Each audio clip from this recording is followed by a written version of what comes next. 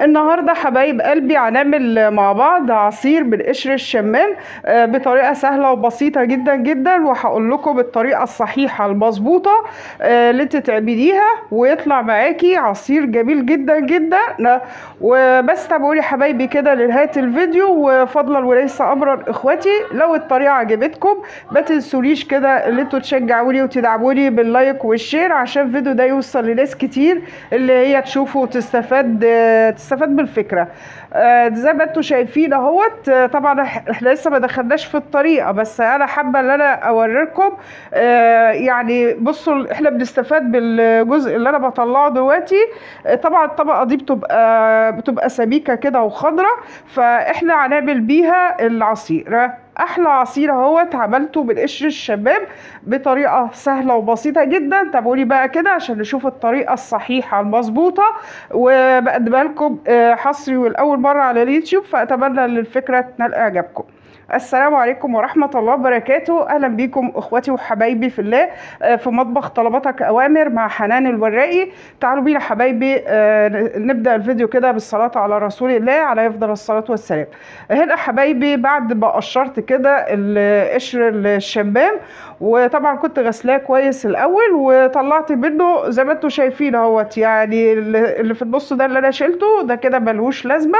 أنا خدت الطبقة التخينة اللي هي بتبقى خضرة كده اهوت وبتبقى جامدة. فهي دي اللي أنا هنستخدمها النهاردة في عمايل العصير. هتلاقوا اللي أنا عاملة آه، نوعين. يعني في أجزاء تانية آه، تخينة شوية آه، كبيرة شوية يعني. فدي اللي أنا عملت بيها معاكم الفكرة اللي فاتت الفيديو اللي فات وعملنا بيه سمك فيليه من قشر الشمام ما- اللي هو كان في العدلية. إنما اللي في الطبق دهوت هنقطعه مكعبات آه، وبعد كده هوت آه، هنعمل بيه العصير النهارده. إيه معاكم؟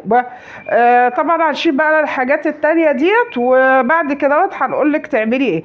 أنا يعني حبيت ان أنا اجرب واعمل آه، اضرب اضربه كده بعد ما قطعته مكعبات واضربه في خلاط آه، وهضيف له آه، معلقة كده صغيرة من آه، عصير فروتي بنكهة البرتقال.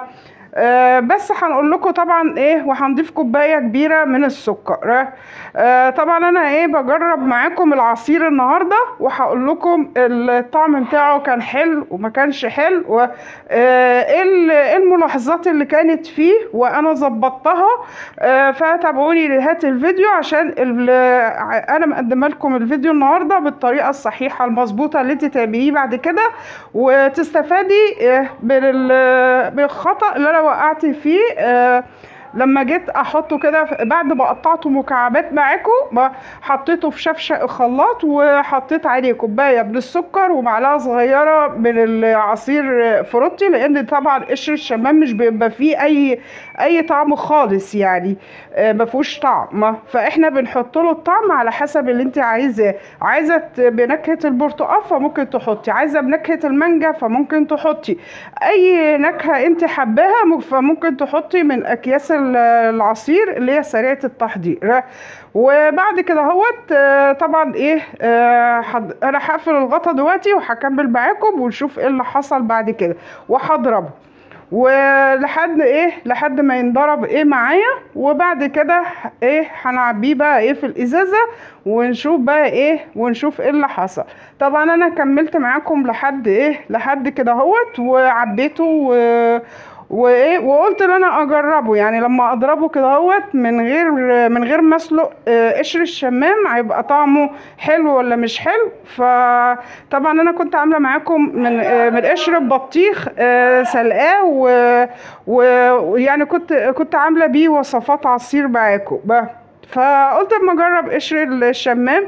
ف يعني هيكون محتاج سلق ولا مش محتاج فقلت ان أنا اضربه كده إيه على طول ونشوف. ف فطبعا أنا مشاركة الفيديو معاكم بكل أمانة وبكل صدق عشان أنت لما يطلع عندك قشر شمام وحابة تعملي العصير تبقي استفدتي آه، من الفيديو وتعمليه وتعمليه زي ما هقول لك إيه دلوقتي. أنا دلوقتي نقصت كده آه، يعني شفشق آه، من من الإزازة المية لأن الإزازة دي بتاخد اتنين ونص آه، رتل فبملاها وبحطها في التلاجة.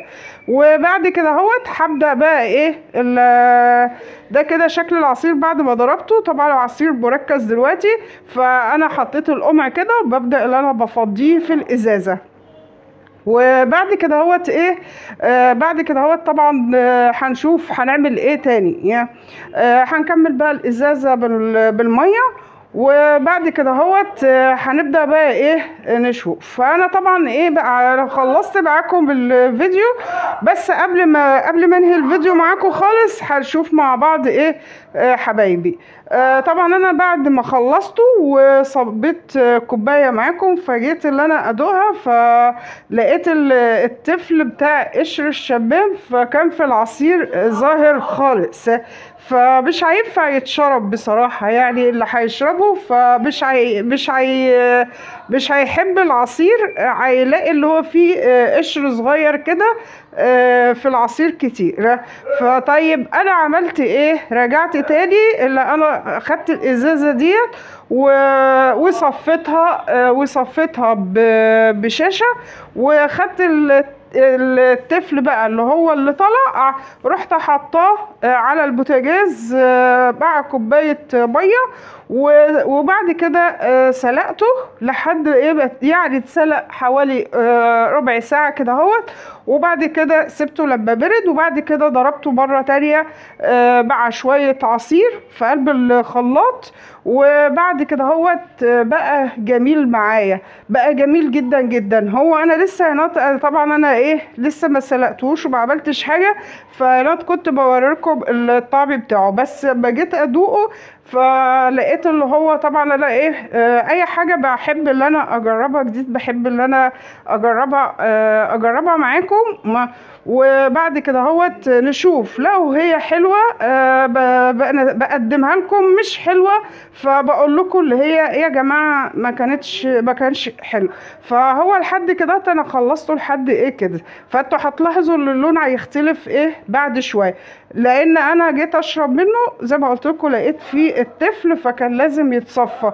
طب واللي اتصفى ده؟ طب ما أنا هرجع أرميه. أنا ما استفدتش بحاجة ملوش لازمة بقى اللي أنا كنت أعمل العصير من قشر الشماء. ما فعشان كده ما رميتهوش فرجعت اللي أنا سلقته مع كوباية مية زي ما قلت لكم ورجعت حطيته تاني وضربته في الخلاط.